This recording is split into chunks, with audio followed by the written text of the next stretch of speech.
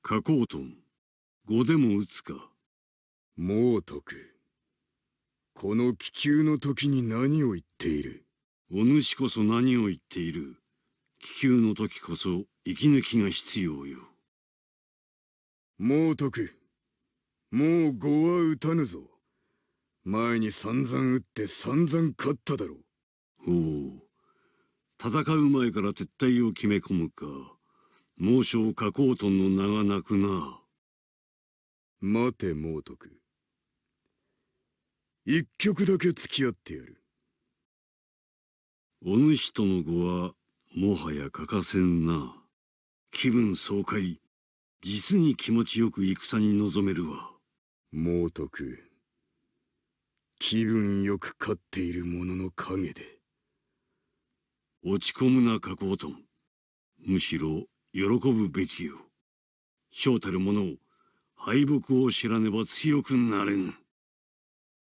なトニーもし俺が敵に回ったらどうする？えん。いきなり何を言い出すいやこんな世の中だろ？俺たちも一寸先がどうなるかわかんねえしさ。俺さたとえ敵に回ってもトニーだけは信じてるぜ何があっても動じず騒がず互いを信じる。それが過去一族の絆ってやつだろ。ああだからえん無用な心配はするな。で前にも聞いたけどよ。トニーは俺と戦うことになったらどうする？どんな相手でも全力を尽くして戦う。それが加工一族の誇りだ。違うか？やっぱトニーには勝てそうにね。敵に回らないよう祈るのみだな。気に入らん状況だな。この世界のことか。貴様とこうして一緒にいることがだ。加工トンお主の戦いささか請求に過ぎる。誰かさんのせいだもたついていると獲物がなくなる。拙者と張り合うのは構わぬ。が命は無駄にしてはならぬぞ。加工トン猛徳がなぜ貴様を欲するのか。お主に認められるとは光栄よだが慣れ合う気はないのだな。ようやく貴様も俺が分かってきたようだな。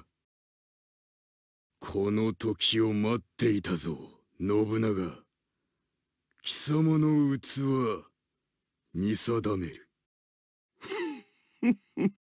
その器そう猛徳と相入れぬ時は砕くのみだ。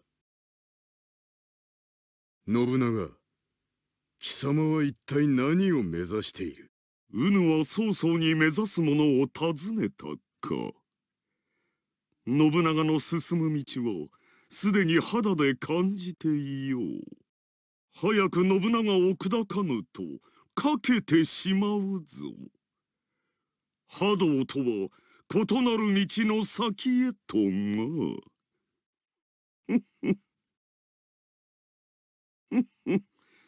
まだ信長を砕かぬのか。貴様のかける先。早く見せろ。砕くのはそれからでも遅くあるまい。ならばかけよ。書こうとん。信長の先へ。